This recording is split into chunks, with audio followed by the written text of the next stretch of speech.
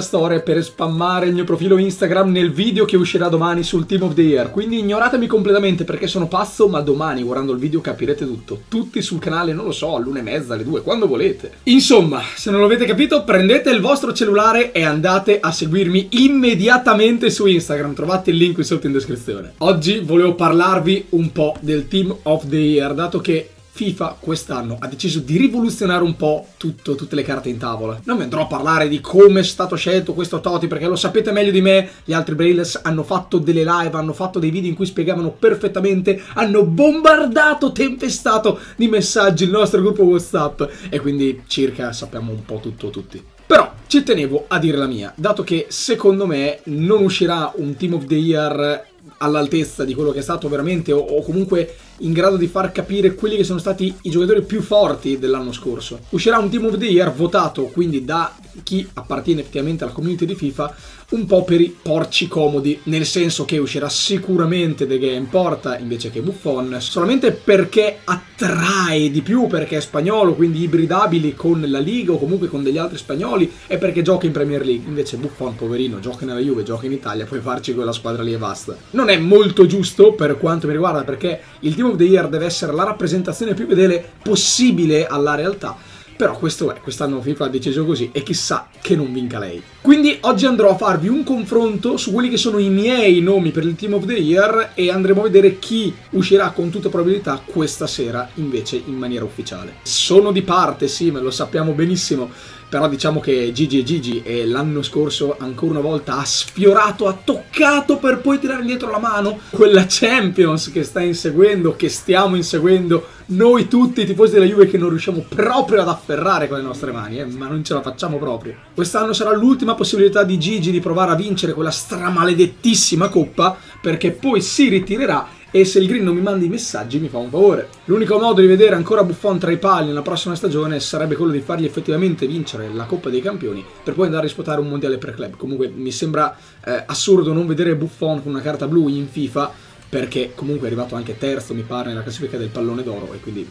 capiamo benissimo che se il primo è Ronaldo, il secondo è Messi, il terzo è Buffon, il portiere più forte del mondo nella scorsa stagione eh, eh non è Ronaldo, eh, non è Messi, eh, non è De Gea perché non, non c'è un, uno spazio qui in mezzo, ma è per l'appunto Gianluigi Buffon. Mi auguro con tutta probabilità che possa uscire Marcelo, perché l'anno scorso veramente Marcelo ha asfaltato qualsiasi corsia. Non so se vi ricordate il video in cui mettevo insieme i giocatori della Juve del Real prima della finale di Champions, c'era il dubbio Marcelo, Alexandro e ho detto metto Marcelo perché per correttezza credo che sia un pelo più forte, ok, eh,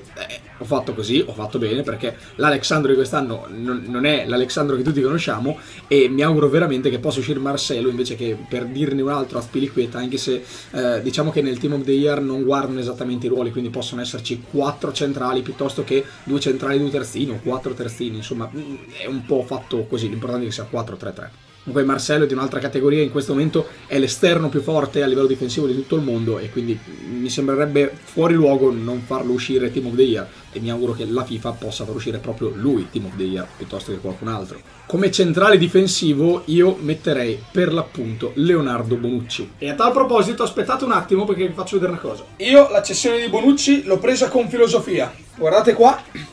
questa è una maglia di Bonucci che non possedevo l'ho comprata da uno di voi, da un mio fan, eh, che ho contattato tramite la mia pagina Facebook, perché volevo una maglia di Bonucci. E ho sfruttato il momento in cui era odiato, o comunque è tuttora odiato, per andarla a comprare a prezzo di saldo. Diciamo che la taglia non è proprio la mia perché mi pare che sia un XL, però eh, a livello collezionistico mi importava avere una maglia di Leonardo e quindi ne ho approfittato per eh, riceverla, per eh, ottenerla non pagandola tanto, eh, perché comunque a me Bonucci ha fatto tanto, mi ha dato tanto, io ho dato tanto amore verso questo giocatore ed è, stato, ed è tornato indietro tutto, perché ero uno dei pochi che lo difendeva all'inizio, perché sono uno dei pochi che dice che non ha capito comunque la sua scelta, perché forse la sua scelta non l'ha capita nemmeno lui, di andare al Milan, ma eh, stiamo parlando di un grandissimo calciatore, di un grandissimo uomo e mi manca, mi manca tanto e quindi posso solamente consolarmi con eh, questa maglietta rosa, con il suo caro e adorato 19 sul retro. Tra l'altro Bonucci è uno dei più votati, quindi credo proprio che uscirà eh, lui stesso come Team of the Year, anche se c'è in netta disserità a Spiriqueta, ma credo proprio che non ci sia storia, dato che l'anno scorso comunque il Chelsea non è che abbia fatto, cioè ok ha vinto la Premier ma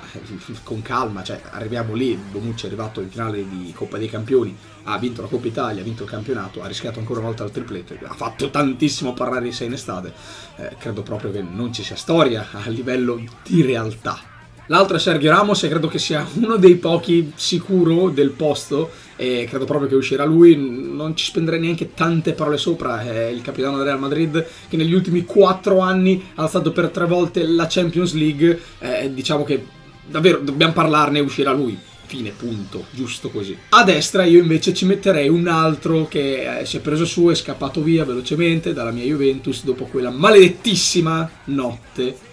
Ah, e cioè Dani Alves. Sapete benissimo che è difficile per me parlare di Dani Alves perché l'ho adorato al Barcellona, l'ho detestato alla Juventus, ma riconosco che comunque la seconda parte di stagione di Dani Alves sia stata di un livello altissimo e irripetibile per quanto riguarda un esterno di destra della Juventus perché ha veramente fatto la differenza anche in Champions League. Mi ricordo che con il Monaco praticamente abbiamo vinto solamente grazie a lui con un gol e tre assist sui quattro totali tra andata e ritorno in una semifinale di Champions per un terzino di destra direi che è assolutamente da premiare, da elogiare e credo che si meriterebbe ancora la carta blu anche quest'anno e al posto di Valencia, che probabilmente uscirà Valencia, io non, non, capisco proprio perché uscirà Valencia, non lo so, sempre il discorso del gioca nel Manchester United, gioca in Premier League, ma davvero Valencia, che non lo so, il prossimo anno Gobbi Team of the Year. Centrocampo è un po' complicato perché ce ne sono tantissimi io davanti alla difesa però vorrei uno e un solo uomo, vabbè che qua non c'è distinzione dei ruoli, ma io voglio fare le cose fatte bene, quindi davanti alla difesa ci metto assolutamente Casemiro. Io Casemiro non posso assolutamente toglierlo perché credo che sia stato l'uomo in più del Real Madrid dell'anno scorso, credo che sia quello che ha dato la marcia in più al Real Madrid eh, a livello difensivo, perché se poteva sprigionare tutto quel potere offensivo davanti è perché c'era un, un equilibratore a centrocampo come Casemiro, che addirittura ha segnato in finale di Champions uno che comunque di gol non dovrebbe intendersene tanto perché è un interditore, un medianaccio, eppure ci ha segnato e ci ha alzato la coppa in faccia pure lui. Probabilmente uscirà Kanté al suo posto, giustissimo perché comunque Kanté è, è un giocatore super straordinario che negli ultimi due anni ha vinto due volte la Premier League con due squadre diverse, per due volte il calciatore dell'anno in Premier League, però devo dire la verità, io considero un po' tutto e secondo me Casemiro è nettamente migliore in termini di rendimento dello scorso campionato rispetto a Kanté. Purtroppo non credo che tutti la pensino così. Eh, ci sono tanti giocatori della Juve, tanti giocatori del Real perché l'anno scorso principalmente ce la sono giocata loro due. Modric uscirà per forza di cose, mi auguro veramente che possa uscire perché Modric è un giocatore superlativo e fantastico. Se una volta, o almeno quando sono cresciuto io, si parlava di Pirlo, eh, eccolo qua, guardatelo, ce l'ho qui. Penso quindi gioco Andrea Pirlo. Credo proprio che voi della nuova generazione eh, parlerete di Modric un giorno invece che del mio caro maestro, del mio caro Andreino da Brescia. Guardate qua che bello che sei. Sono quei giocatori che ne esce uno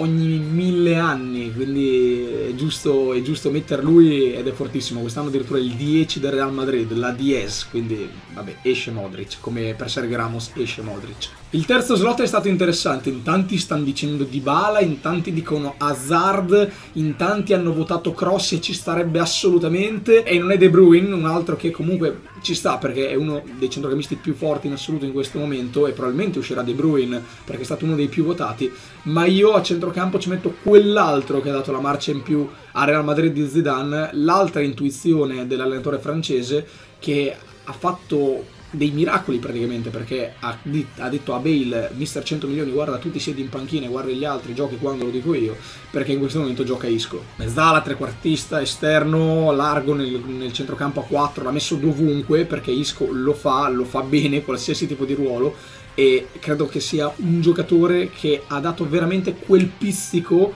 quell'intuizione, quell'uscire dalle righe che mancava a Real Madrid l'anno scorso perché era molto meccanico prima dell'ingresso di Isco perché comunque con Ronaldo e Benzema si andava sempre su per le corsie invece Isco anche negli ultimi metri se Modric se Cross non riuscivano a inventare il passaggio perché che ne so la sera prima aveva mangiato una pizza arrivava Isco e la risolveva lui quindi assolutamente credo che il centrocampo debba essere tutto blancos e addirittura lascio fuori Cross e sapete benissimo quanto io provi un'attrazione anche forse sessuale nei confronti di Cross Andiamo davanti e come sempre vorrei affrontarli a gruppi perché Ronaldo e Messi non possono mancare, lo sappiamo benissimo, quindi mettiamoli lì. Eh, mi sembra anche eccessivo parlarne, ancora una volta lo ripeto perché magari questo dato non è abbastanza chiaro. Negli ultimi 4 anni la Champions è andata tre volte al Real Madrid. L'unica volta che non è andata al Real Madrid è andata al Barcellona e, e mi fa strano pensare che in tutto questo la Juventus ne abbia perse due, quindi una col Real, una col Barça, ma questa è un'altra storia. Comunque Ronaldo e Messi sappiamo che hanno il monopolio assoluto di qualsiasi tipo di titolo, trofeo, riconoscimento,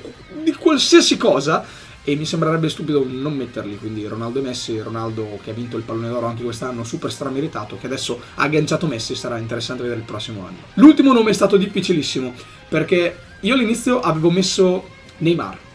poi ci ho pensato un attimo, ho detto, ma effettivamente l'anno scorso il Barcellona, voi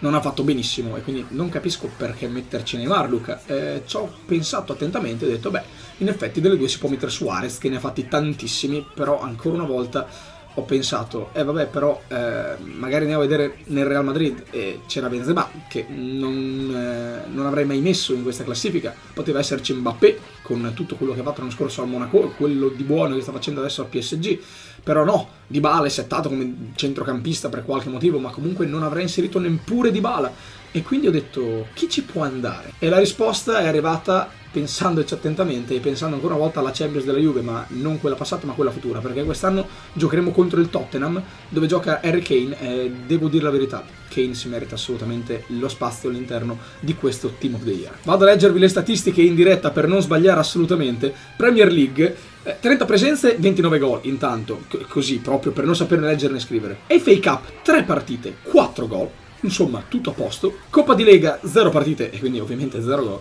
UEFA Champions League, 3 presenze, 2 gol. UEFA Europa League, 2 presenze, 0 gol. Ahimè, qua non ha segnato. Per un totale di 38 presenze e 35 reti. Stiamo parlando di un giocatore in grado di competere con le medie gol degli altri due citati prima, quindi Ronaldo e Messi, cioè uno così. Uno che ha già vinto per due volte la scarpa d'oro, cioè avete capito, io, io mi esalto perché ho segnato 6 gol negli amatori, questo ha già vinto due volte la scarpa d'oro e viaggia a livelli diretti di Ronaldo e Messi. Ora non so chi uscirà come terzo attaccante, potrebbe essere addirittura lui e quindi mettiamo il confronto tra loro due, sarei contento di vederlo perché si riuscirebbe un attimo ad allargare gli orizzonti. Basta le solite facce, basta Lewandowski, basta Suarez, basta Griezmann, mettiamoci dei giovani, mettiamoci chi segna, chi fa gol. E quindi niente, questa è la mia idea di Team of the Year e spero che siate abbastanza d'accordo con me. Fatemelo sapere comunque qui sotto nei commenti, fatemelo sapere su Instagram, commentatemi sotto l'ultima foto o mandatemi dei messaggi in direct, ai più interessanti rispondo sempre, ma se mi scrivete delle cavolate come mi segui o mi saluti o mi metti mi piace ovviamente sapete già che verrete ignorati completamente. Vi chiedo uno sforzo, cerchiamo di arrivare, non lo so, a 2000 like per questo video e qua sotto in descrizione, come sempre, il link per comprare i vostri crediti perché stasera esce il Team of the Year, bisogna spacchettare e trovare qualcuno.